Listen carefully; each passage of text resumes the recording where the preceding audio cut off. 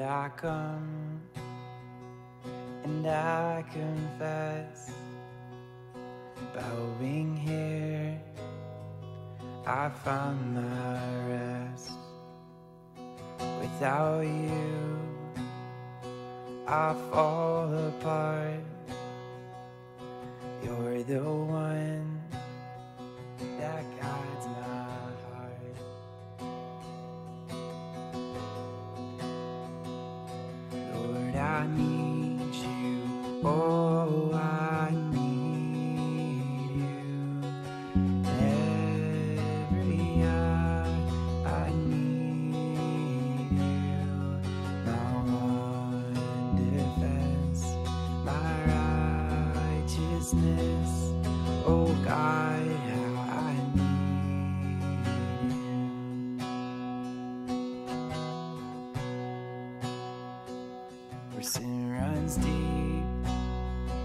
your grace is more.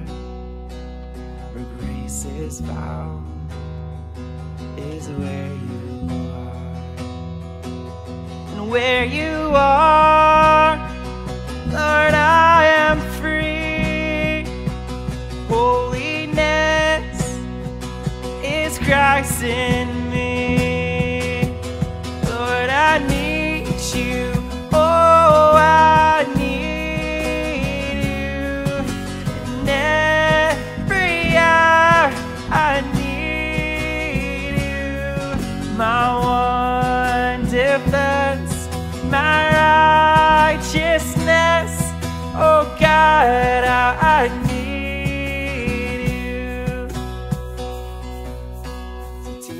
Song to rise to you. When temptation comes my way, when I cannot stand up on you. Jesus, you're my open and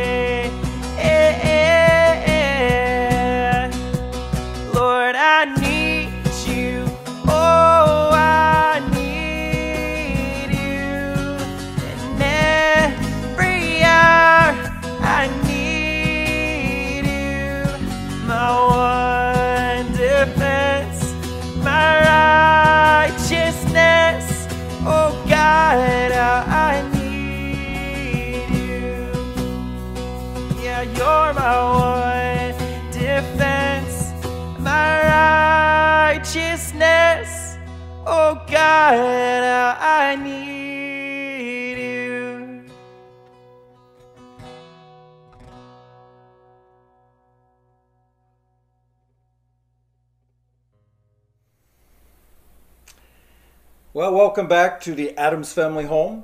We're in this series, this series we're doing, it's called Running on Empty.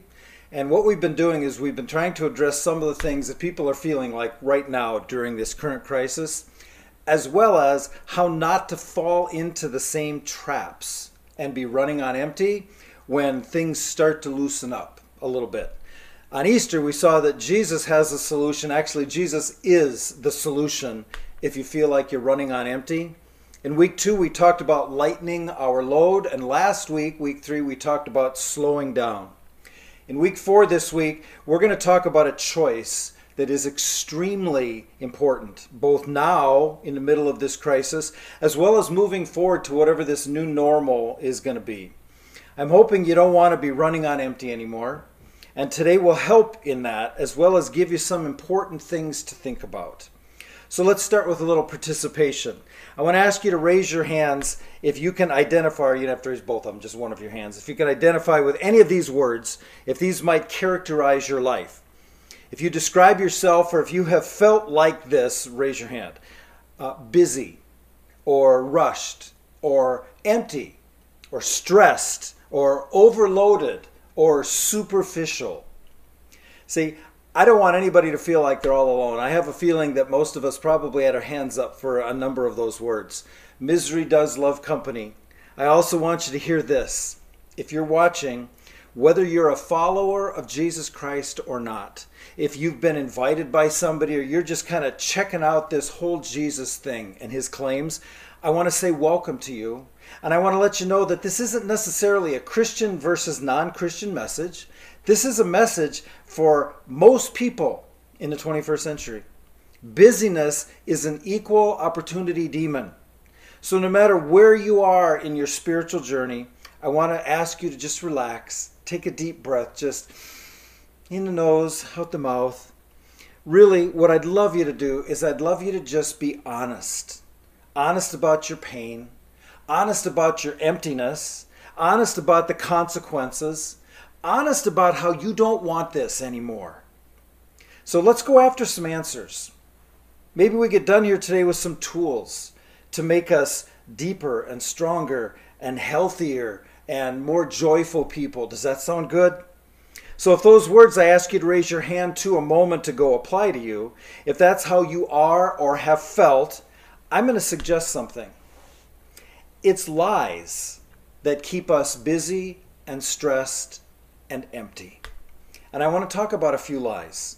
I want to suggest this. I want to suggest that many of us, we won't even see these as lies.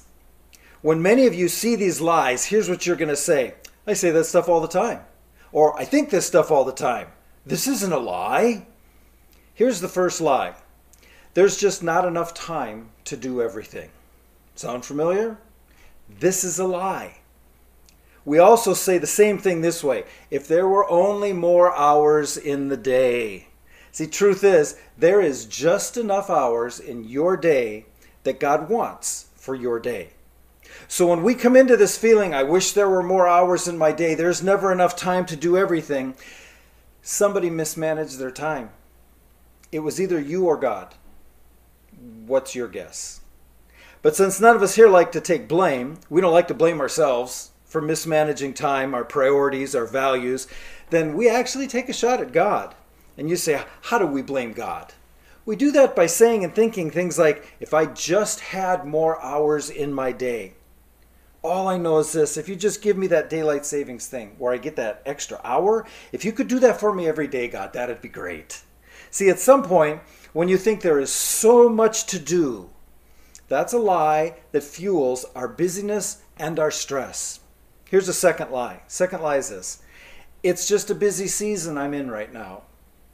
I have heard and used this one way too often in my life. It's just a season. And you know how seasons are? Seasons always come to an end. It's just right around the corner. I see better times coming. But all these projects seem to be due.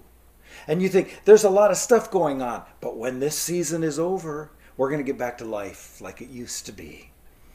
That is a lie. You see, busy people don't have seasons. Busy people have one season. It's called busy. It's like Arizona. Remember, I told you, Julian, I lived in Arizona for three years. Arizona doesn't have seasons. If you've been there, you know it doesn't have seasons. It's like it's hot. It's always hot. Everything in Arizona is hot. It's not the season in our lives that's busy, it's the person that's busy. We just don't want to admit that we're busy addicts. And if you believe this lie, you will always be busy. So there's just not enough time to do everything. It's just a busy season I'm in right now. And here's a third lie. But this is really important. This task, this person, this meeting, this opportunity that I have. See, we line things up in front of us that are really important. And we're constantly faced with this busyness. Here's the key it's not just what we think is really important, it's what other people in our world also think is important that we should think is important too, and they put it in our line too. So, what others do is they transfer their urgency to become our emergency. Their problem now becomes my problem because it gets on my to do list and my calendar. What happens then is you're going through life and you're thinking everything is really, really important everything is not equally important. See, that's what happens when you're running on empty. When you're running on empty, you don't have the discernment, you don't have the wisdom to make that decision to discern and decide what's really, really important. So when everything seems really important, that's kind of a good indication that you're running on empty. When you're running on empty, your perspective is off. Your decision making becomes blurry. And we crumble under pressure. And here's what we do we elevate things that aren't really that important, and we devalue things that are really, really important. And you take these lies, lies that many of you, you don't even think they're lies, you've just come to kind of like believe them as part of your life. But you take these lies and you multiply them by what, by what I call the cultural lie. And here's what the cultural lie is it's a bigger lie, and it says, busy is better. That's a lie of the culture. I want you to, here's an assignment. Start listening for this in conversations that people have. Start listening for it in television and movies and reading because everybody believes that busy is better. And you may even contribute to it. When you hear somebody greet somebody, how often do you hear this? How you doing? Keeping busy? Why do we say that? As if busy is the ultimate value. Busy isn't better. Choosing better is better. Busy isn't better. I want you to finish up here today knowing busy isn't better, that choosing better is better. I'm convinced that until we learn to choose better, we will always be running on empty. We'll always be missing the mark. I want to show you an example of this from God's Word. I'm going to move from what you think is only Tim's opinion right to an example from God's Word. In Luke 10, we have a conversation that Jesus has with two people, one who chooses better and one who doesn't choose better. What's interesting about this is it's almost like an aside conversation that happens in the house. It's just like in the brevity of these five little verses, there is such incredible depth. But you're almost waiting for Jesus to bust into this long parable or story because it's, it, it's just so short, kind of like an aside. It, it says it like this it's in, in Luke chapter 10, starting in verse 38. As Jesus and the disciples continued on their way to Jerusalem, they came to a certain village where a woman named Martha welcomed, her, welcomed him into her home. Her sister Mary sat at the Lord's feet, listening to what he taught. Now, I want to call your attention to something that we don't see quite as easily in this text, but in the original, in Greek, they have a way of emphasizing certain words and causing certain verbs to kind of mean certain things. And in this passage, there's two words that are used the same way that are extremely important. And both of those words are in a tense that try to get us to vividly imagine this. Um, think about it like a video or a movie or something that you're watching and you watch it, it's fascinating, and you watch it again, and you keep seeing this and you revisit it and you see the vividness and the color in it and try to imagine all that's happening. That's we have two words that do that. The first one is listening. It says, Her sister Mary sat at the Lord's feet listening to what he taught. Luke is emphasizing this. Then in verse 40, but Martha was distracted. And that word is the same tense as listening, and it's calling attention to our two, those two words for us that it's listening and distracted. One's listening, one's distracted. And it wants us to kind of vividly picture that happening and see how that does it. It says Martha was distracted by the big dinner she was preparing. See, the, the thing he wants you to focus on is not the dinner, the big dinner, the preparation, it's the distraction. Martha was distracted by the big dinner she was preparing. She came to Jesus and said, Lord, doesn't it seem unfair to you that my sister just sits here while I do all the work? Tell her to come and help me. But the Lord replied to her. The Lord said to her in verse 41, My dear Martha, you are worried and upset over all these details. There is only one thing worth being concerned about. Mary's discovered it, and it won't be taken away from her. See, like I said, it's just a really short little conversation. But I want to unpack it just a little bit. Because Jesus comes to this woman's house with his 12 disciples. And what was customary in this time is when you entered somebody's house, they would wash your feet and they would give you some food. That's what they did. Now, I live on a dirt road we have this dirt road out here when we bought the house. We, we were from the cities and it's like what's the big deal. It's half mile of dirt road. It's like oh my goodness i get this story about washing feet and stuff. Our cars are almost impossible to keep clean.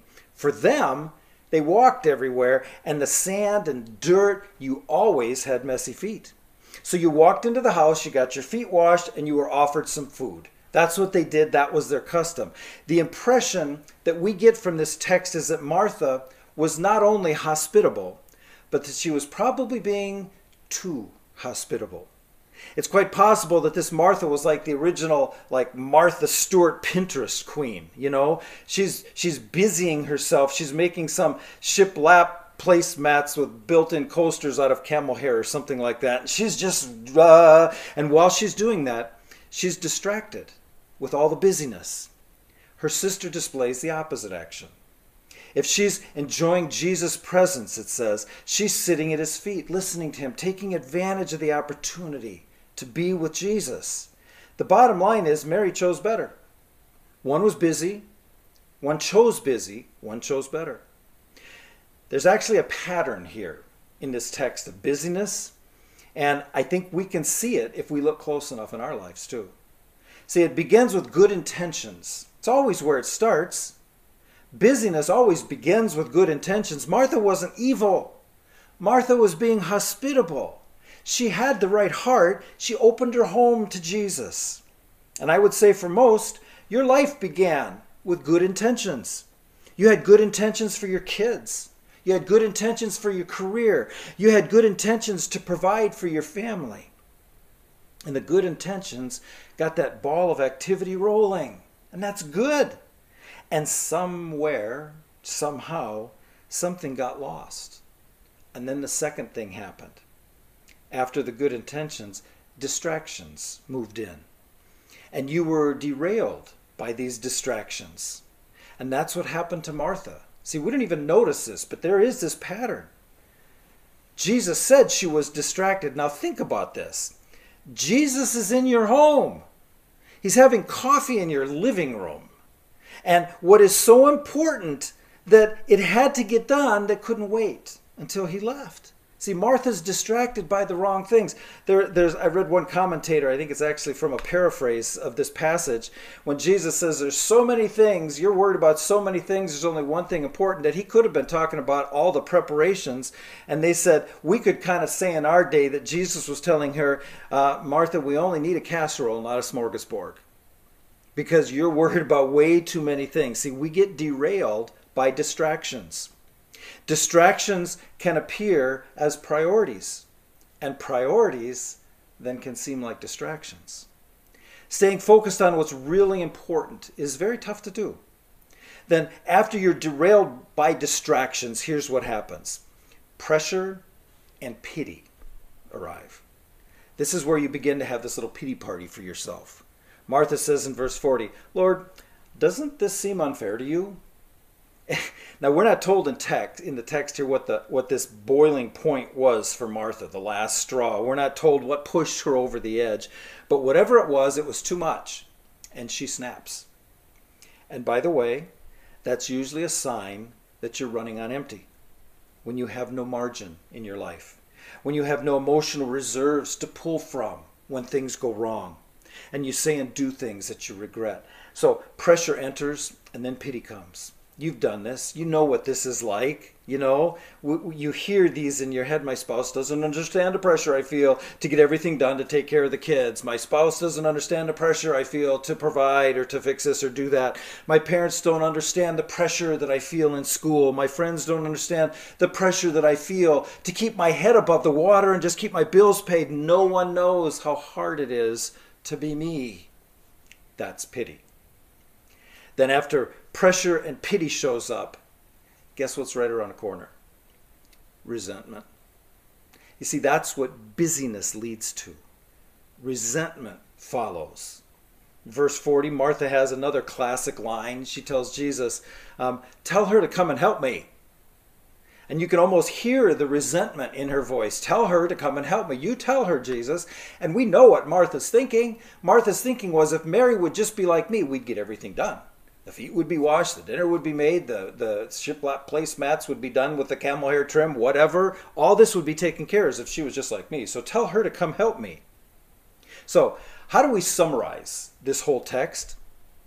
We've actually already summarized it. Busy isn't better. Choosing better is better.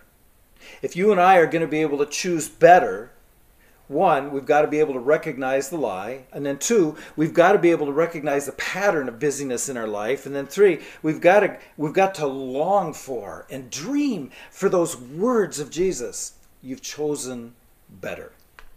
See, while while Martha worked, Mary worshiped. She chose better. While Martha was distracted, Mary was focused, and she chose better. While Martha felt pressure, Mary felt peace because she chose better. Martha, she was filled with resentment, but Mary was filled with enjoyment because she chose better. So, how do we take action? What do we do today to take action on when our lives are too busy and there's too much stress and we feel like we're running on empty? Just three things today. Here's the first one confess the lie. You identify the lies that we talked about earlier. You confess them. You confess them for what they are lies. They're not empowering statements to get you more time, they're tricks. They're sneaky lies that act like landmines to just blow up on you. And when you start to think, there's just not enough time to do everything, I wish I had more hours in my day, then stop. That's a lie. When you're tempted to say, it's just a busy season right now, go look in the mirror and say, liar, liar, pants on fire, you know, uh, except during this time. I understand that a lot of people don't have pants on, so that's a whole nother thing. Um, whatever you need to do to recognize that it's a lie, recognize it. When you try to justify to a roommate or to a friend or to a spouse, I got to do this. This is really, really important. If it's not, give them permission to call you out on it because it helps you understand that there's only a few things that are really important. So the first one, confess the lies. The second one, name the distractions. This is so important. It's actually very practical, but you're probably going to be tempted to push it off to the side because it's going to require some work and you're busy. You're not choosing what's better. But here's what I'd like to encourage you to do. I want you to take a piece of paper sometime today and just begin, just write on it, list the responsibilities that you have. Think of all the things that you have to do and just start writing those down. The things that you have to do, the things that um, you on a daily basis, a weekly basis, and then look at that list and begin to see if any of them might be distractions. You might even, um, in a very practical way, just pray over them. Look at your list and pray over and say, God, would you give me insight into which of these are distractions? And when you find that they are distractions, then begin to cross them off. You ask God for wisdom to choose what is better. Because remember, busy isn't better. Choosing better is better. See, maybe the most spiritual thing you could do this week is to break open a big can of no on some of those distractions. See, again, we're not talking about things that are necessarily evil. Martha wasn't evil in her distraction. She just needed to say no to some busyness so that she could say yes to Jesus, which is better. So confess the lie, name the distractions, and third, this is a biggie. You choose what is better. At the end of the day, wouldn't it be great to hear the voice of God whisper to you, You've chosen what is better? Let me give you some questions um, to think about this week to unpack. How do I choose what's better? Here's some questions for you to think about. Here's the first one What's my standard for what's better? Because whether you know it or not, you have a standard for what's better. And that's helping you determine which things to choose. Here's what I'm going to suggest if you're a follower of Jesus, your standard for what is better is the Bible, it's God's Word. We learn it, we listen to it, we live it, we memorize it, we focus on it, we spend time with it every day, and it is our standard. And when we realize that's my standard, the second question is this Am I making my choices by that standard? Because the truth is, you're making your choices by your standard. And if your standard is or should be the Word of God, are you making your choices by that standard? And here's the third one what do I need to choose to say no to? Today, this week, this month, whatever. And, and the more specific you can be, the better.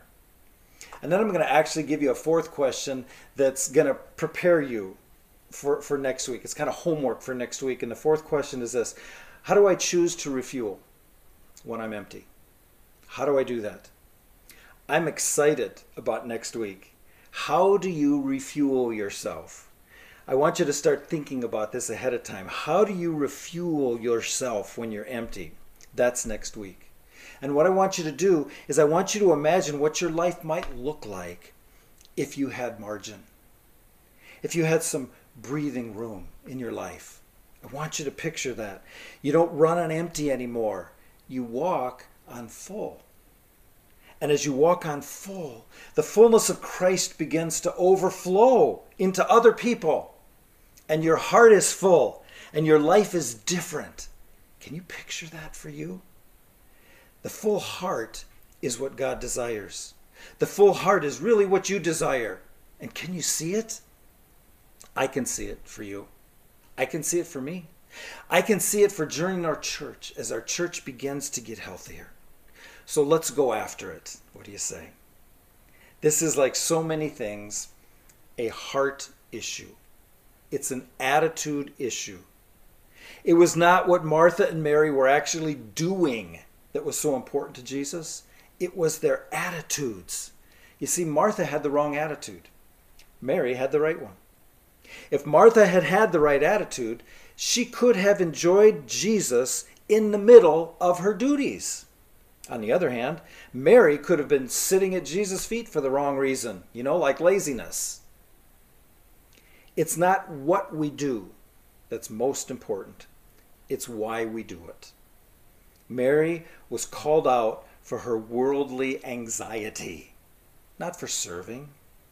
And Mary was commended for her love for Jesus, not because she was sitting.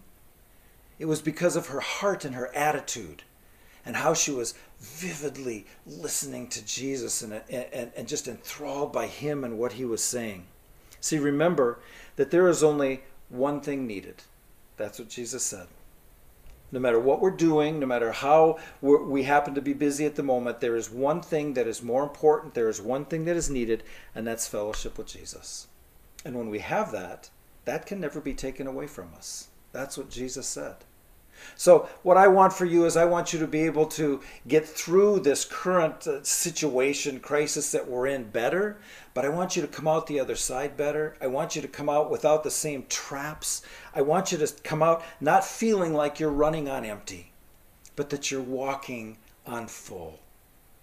Let's pray.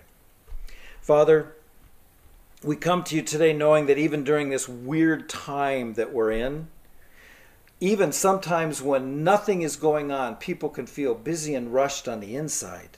They can feel that stress, they can feel that anxiety. And we know, Father, that we need to be able to choose the right things. That busyness is not better, that choosing better is better. So I pray that you would help those who are followers of Jesus to, to make that choice. Help us to be able to see that there are certain things that are just lies and help us to be able to choose what's better, to be able to recognize that, to turn from that lie, and to choose what's better. And Father, for anybody who doesn't know Jesus this morning that's listening to this, my prayer is that in simple faith they would recognize that it's it's doing what Mary did, it's coming to Jesus. It's being able to come to Jesus and sit at his feet and realize it's not about what I've done or can do. It's about what Jesus has done and that in simple faith, people would recognize I know that I'm a sinner. I've made bad choices. I've turned from Jesus. But Jesus, in the middle of that, loved me enough to die on a cross for me. So I recognize that. I recognize my sin. I turn from it. I turn to Jesus today. And I ask you to give me that peace. Help me to walk on full instead of running on empty. We love you. And it's in Jesus' name we pray. Amen. Thank you. I want to say we miss you guys. Can't wait to, as we transition back in here, are able to see people in, in face to face a little bit more. We don't know how that's going to happen. We know it's probably going to be in phases, and we're going to have to do what we always do and be fast, fluid, and flexible. And we might gain some ground and have to go back. We might make some good phases, get into another, and have to go back. We don't know how this is all going to happen, but we're going to do it in a way that honors Jesus, that brings glory to his name and his community, and um, we're going to do it together. So thank you, and I'll see you around.